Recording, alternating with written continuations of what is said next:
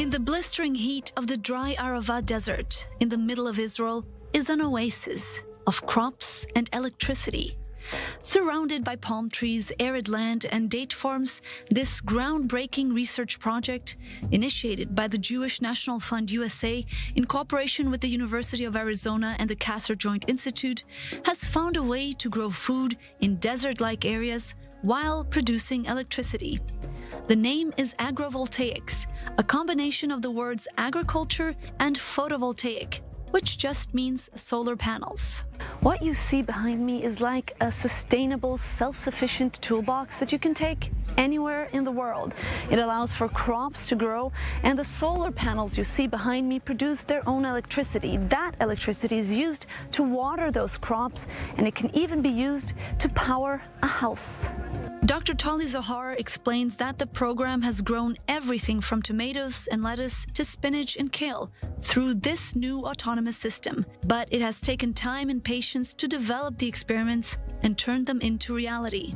The main idea of agrivoltaic is actually harvest the sun twice. You're using the same land for producing food and producing energy. You don't need to choose. Now you're actually if you go around Israel and other places, you have to choose. Choose either you use the land for producing electricity, for solar panels or other form of renewable energy, or you use it to grow food, to grow crops and agriculture. Mm. And here we are saying let's do both at the same land. The project can be found in different versions in various locations. It's been evolving and expanding for years, and this design is just about ready to be taken from the desert in Israel to the rest of the world. Though the benefits from this agrivoltaics project really are the local communities. So in whether you're talking about an off-grid, which is not connected to the national kind of grid. So you're talking about remote communities in the U.S., whether we're talking about indigenous populations, smaller farms, kibbutzes in Israel, smaller communities in Africa, that's where you really see that connection. And largely it's because in all of these dryland places, it's just too hot for the crops to produce. The sun is just too intense. Its energy is just pounding the leaves all day. And the solar is like if you were able to carry a little parasol over overhead during that hottest part of the day and offer that protection. So in, that means that you can, in these places that have no food security or really bad water security, you can actually get food, energy, and water all in the same parcel of land.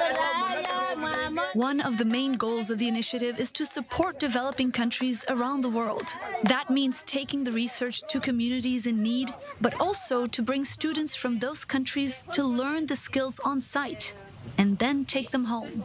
Abby and Rosalind from Kenya are in the process of completing their internship. This project is special because it is a system that ensures there's uh, production of energy, at the same time there's full security, and also there's production of water.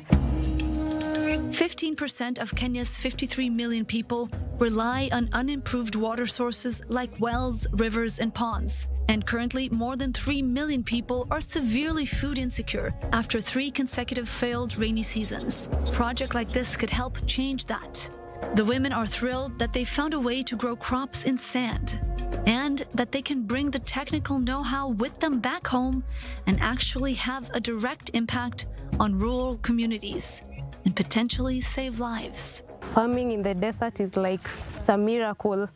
Yeah, it's so it's awesome. According to Talia Tzur, chief of staff of Jewish National Fund USA in Israel, the communities of the Arava Desert have become experts in growing and exporting food through years of work and development.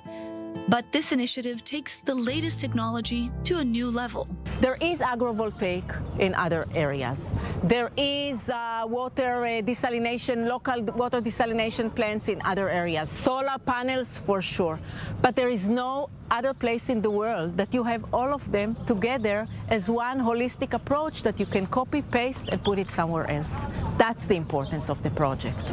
With climate change becoming an increasingly dire factor in food development and production of clean drinking water, the fund is financing other research initiatives as well. In desert conditions like these, where it's so dry and hot, efficiency is crucial for food security. So from one project that took the energy of the sun twice to grow food, we're now going to see a project that uses water twice. So we're actually standing in a greenhouse uh, in the Arava Valley. And what we're seeing behind us is a very interesting research. It's called aquaponics. Aquaponics essentially is a system, enclosed system, where you can grow fish. You can't see them, but they're inside here. So we have tilapia fish growing in the tanks, so you can eat them. Um, and the water from the fish goes to the lettuce. So we use the water twice, right? Once for the fish, once to grow food. And uh, we hope in the future to install solar panels so you can make it off grid completely and a very holistic system. Is it good? Salty.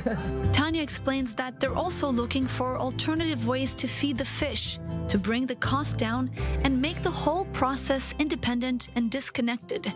Once again, just by using what nature already offers in the most effective way possible, with the goal to help feed tens of thousands of people around the world in a sustainable way.